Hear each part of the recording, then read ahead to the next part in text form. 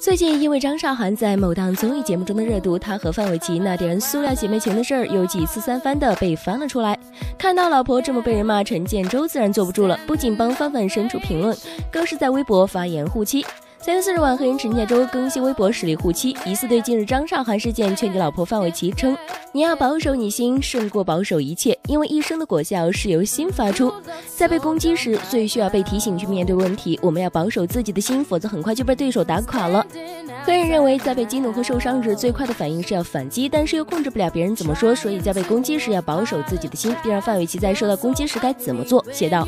重复思想神的应许，聆听圣乐，大声唱歌，与有积极思想的朋友来往，找有责任心的朋友帮助你。祷告，尊主为大，荣耀神，专注在神的旨意上，乐意俯视他人。每天认罪，被攻击时感谢神的保守，为诋毁伤害你的人祷告，饶恕，饶恕再饶恕。感谢上帝的带领，让更多人选择善良。